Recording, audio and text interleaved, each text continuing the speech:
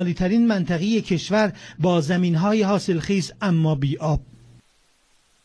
این آب که مایه حیات است امروز نوید بخش عمران و آبادانی این منطقه خواهد شد. این صد از نوع خاکی با هسته روسی است و بر روی رودخانه آقبلاغ ورزگان احداث شده است. این سطح برای تنظیم 3 میلیون و 840 هزار متر مکعب آب طراحی شده و همچنین جلوگیری از سیلاب.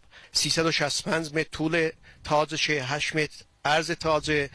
تا به حال 22 میلیارد تومان در این سطح هزینه شده است. مسئولان هدف از اجرای این طرح را جلوگیری از مهاجرت روستاییان و ایجاد رونق اقتصادی منطقه می‌دانند که در قام اول به صورت مستقیم برای 500 نفر شغل ایجاد شده و در گام های بعدی این تعداد به یک هزار نفر خواهد رسید. ضمن اینکه زمینه تولید برای بیش از 8 هزار تن انواع محصولات کشاورزی نیز فراهم می شود انشالله با وجود این آب که از طریق صد انشالله تامین خواهد شد انشالله توسعه رونق باغات میوه انشالله بیشتری خواهیم شدیم جاده چرا خوب میشه طبیعتمون زیبا میشه. ما زنبورداری می‌کنیم اینجا صدم باعث میشه سرسبز بشه.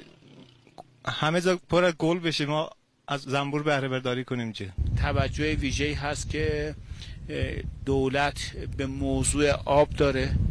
ما استفاده بهینه از آب بسیار مهمه و در سراسر کشور به ویژه در آذربایجان شرقی ما پروژه, پروژه های متعددی داریم برای اینکه ما بتوانیم آبهای مختلف و مهار بکنیم. آب این مایه حیات که از امروز در سه روستای شهر ورزغان جاری می شود و 480 هکتار از باغات و عراضی این منطقه را آبیاری می کند